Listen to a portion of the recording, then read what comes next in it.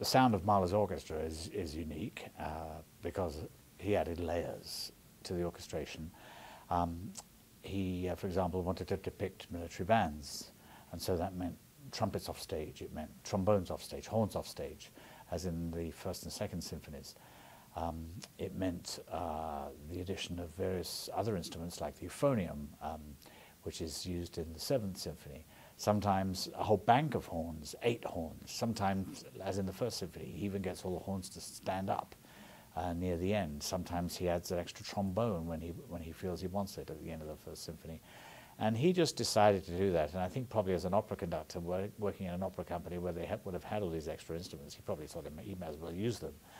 But uh, I think also there's the feeling that um, with Mahler, um, there's a famous conversation that he had with Sibelius, where Sibelius talked about the, um, his own view of the symphony, and Mahler's response was uh, that, in his view, the symphony should embrace the whole world. So that could be cowbells that were used in the orchestra, it could be uh, little children's nursery rhymes played uh, very high on the double bass in a way no one had ever used the double bass before. It could be these sounds of these military band effects that even come in um, in the uh, in the Ninth Symphony. Interestingly, though, in the Ninth Symphony, um, the orchestra is not uh, as large as it is in um, in some of the previous works.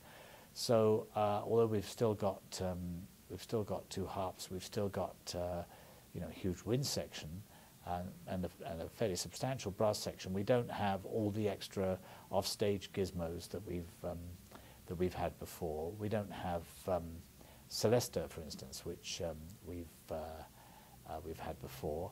Um, and uh, what, he, what he's done in, in one sense is pare the orchestra back and um, it's as if he, he's after all the bombast of the early years, especially the, the Eighth Symphony, which is Symphony of a Thousand, which of course is huge, I mean, absolutely enormous, and such, uh, I mean, apart from the subject matter, which is so deeply moving, it's very great fun to, to actually perform it. But with the Ninth Symphony, he, um, it's as if he strips all that away and gets down to the core message, like what's the narrative that I want to depict? What do I want to, uh, to say at this particular point? He quotes a waltz by Johann Strauss uh, that was written to open uh, the Vienna Musikverein and um, the Singverein in um, 1870. And uh, this uh, waltz is all about celebrating life. And uh, he quotes some of his own works uh, in the last movement. And so um, there's this feeling of farewell. And he doesn't say farewell um, it doesn't end bombastically, it doesn't begin bombastically. Um, but between these two huge adagio, more or less adagio um, bookends, the first movement and the, and the last movement have these grandiose and quicker moments, of course. Uh, but the second and third movements are particularly um, uh, vivacious. I mean, the third movement, uh, the rondo, is uh, dedicated to my friends uh, in Apollo, the, the god of music, the god of dance, the god of arts, and so on um, who lives on Mount Olympus, anyone who lives on Mount Olympus. And so he, um, he says these farewells. It's not almost, almost as though um, he says farewell to other musicians or to music itself, because he's, he just sort of says, well, I'm just done with it, it seems, when the movement's just finished. There's a comical ending to the second movement, uh, but the third movement has this um, sort of declamatory, almost door-slamming effect, similar in a way to Tchaikovsky's Pathétique Symphony, that, that um, uh, Mahler knew um, the symphony, although he had spoken disparagingly of it 10 years before, but he knew the effect of the third movement being um, boisterous and then um, suddenly uh, a door almost slamming and the party ending before plunging into this, um, into this extraordinary last movement. And the last movement is really so many different things.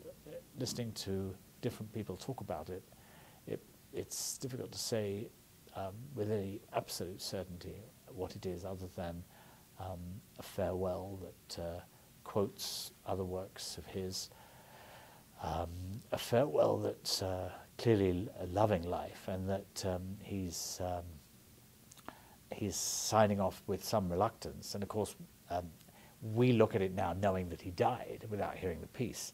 But what people didn't know so much at the time was that actually, well, he's written almost another symphony after this, which he hadn't orchestrated. So it's very easy to look at the composer's life and say, well, you know, it is a farewell, it's a heart-wrenching so long goodbye. And I have my private feelings about it, which almost feels inappropriate to share because um, I love it so much and uh, feel uh, very strongly um, these various emotions about it. But you know, that's the whole glory of it. Every individual listener can come to the music and accept it uh, for what it is. I see it really as a um, almost so intense and personal that uh, really what I want to do is just conduct it and, and uh, try not to get in the way of what it's trying to say.